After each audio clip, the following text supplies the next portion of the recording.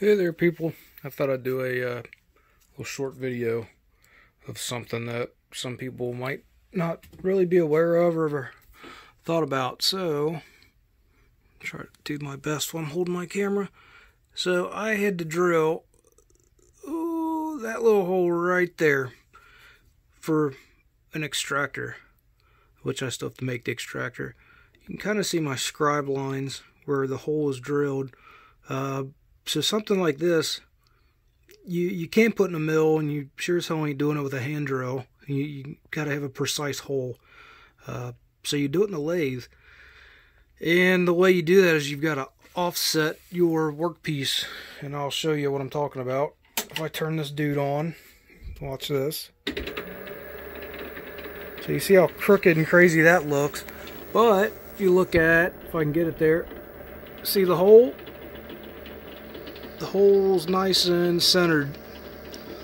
So, the way you do that, I'm going to try to try to set this up here with uh, one hand while I'm holding my camera. Uh, you get your your barrel and your four jaw, and you can see I've got uh, copper pads there for my jaws so I don't mar up the barrel. Um, but a little trick, and I'll be honest with you, I don't remember where the hell I learned it from you take dead center. And again I'm trying to do this. Well give me one second while I try to do this with both hands.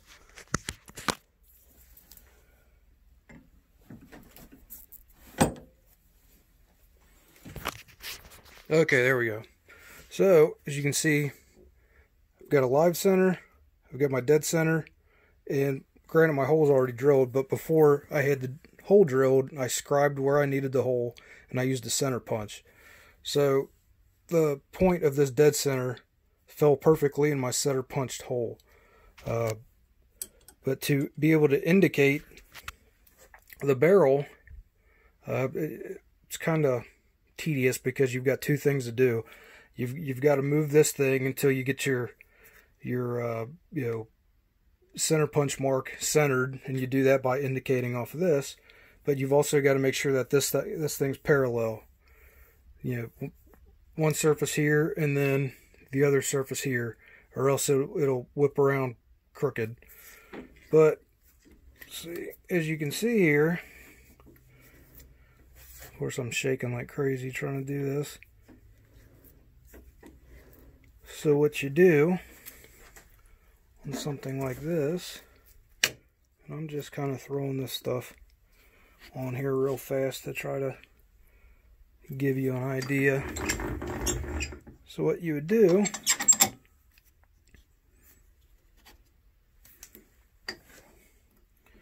is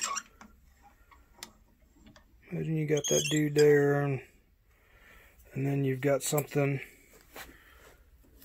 to indicate off of let's see what do we got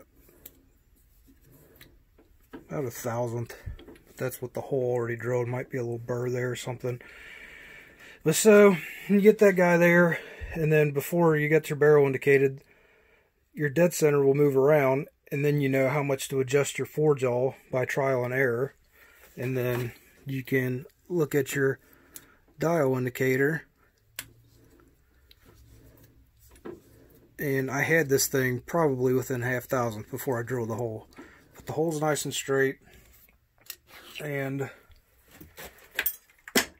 nice and, and concentric like it should be. And again, before I was able to, you got to bounce back and forth. Before you can get this guy centered, you've also got to make sure that this is concentric, that surface, and this surface is concentric. And you do that by you know, putting my dial indicator on here, sweeping it back and forth, and then tapping the barrel around, which will just gently move it in my copper jaws here. And then once you got that guy parallel with the, the bedways of the lathe, and then you can start moving the barrel to get your center point where you need to drill. So, let's see if I can drop this thing out of here. Anyhow. But yeah, so then again, that will It's really screwy when you're doing it too. But you can see that guy's spinning center. And of course my phone's not going to want to agree and focus with me, but anyhow, so just thought I'd show that little trick there and hopefully I'll be able to come up with some more videos. I've been slammed lately with work. The last thing I'm able to do is actually take videos. Uh, we're closed right now, so I was able to make this one. But thanks for watching, people.